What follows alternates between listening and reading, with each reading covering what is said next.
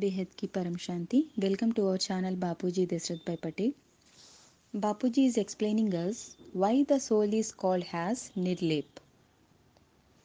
In path of devotion, soul is considered as Nirlep or isolated or without any attachment. Means these illusion bondages and layers will not attach to the soul.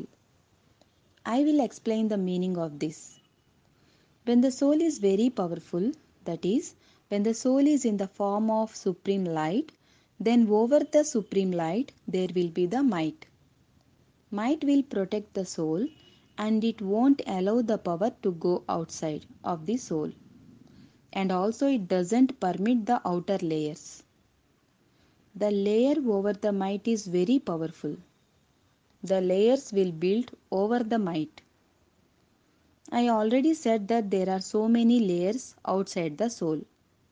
The main function of the might is not to allow any type of records inside the light. This is the main role of the power of the soul. Soul means power. Power is called might. Likewise, if we say about incorporeal Shiv, incorporeal Shiv's power is called might. Here incorporeal is light and its power is called might. Might don't let the light to go out and it protects the light from its flexibility and also stops the outer layers. That's why there will be no recordings or any type of data in the soul and nothing will attach to the soul. We call that as incorporeal form. It is just the seed form. In the seed form, there will be no records. This is very abstruse subject. We have to understand this. If we are able to understand the pure form of the soul, the isolated form of the soul, and the supreme light form, and there is no data or nothing is there in the soul. Also, there is no mind inside the soul. If there is no mind inside the soul, then it can't think.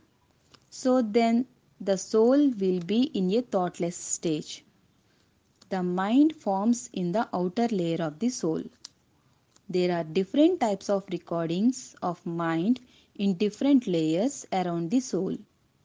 If there is supreme ether layer, then supreme ether recording of mind will be there. There are various types of recordings in the outer layers. There are different categories of minds. Minds are various types, like we can say pure mind. Supreme ether mind will be in a stage of pure form. If you emerge the supreme ether layer, then mind will be in a stage of pure form there. In supreme supra element, the mind will become at once void. It will be very close to the nothingness. And if you experience supreme light, then there will be no stage of mind. Means, nothing will be there like mind. It's very higher stage above the mind. The soul is beyond the mind because there is no records of mind in the soul. The soul is somewhat a different one. The mind is in the outer layer of the soul.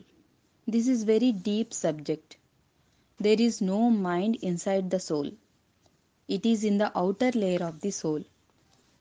There are various types of minds according to different types of roles that soul plays when it is in different types of worlds and stages and in different different types of layers.